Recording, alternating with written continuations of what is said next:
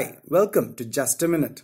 In Acts chapter 1 verse 14, we read, These all continued with one accord in prayer and supplication with the women and Mary, the mother of Jesus, and with his brothers.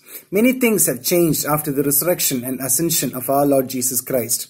No more do we see the disciples quarreling over who the greatest among them is.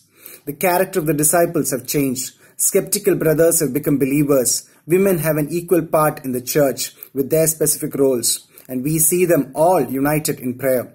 We see the unified prayers leading to answered prayers.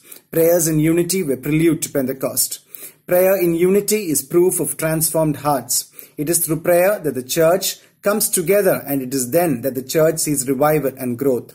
The book of Acts records the prayer life and answered prayers of the disciples as individuals, groups, and as churches.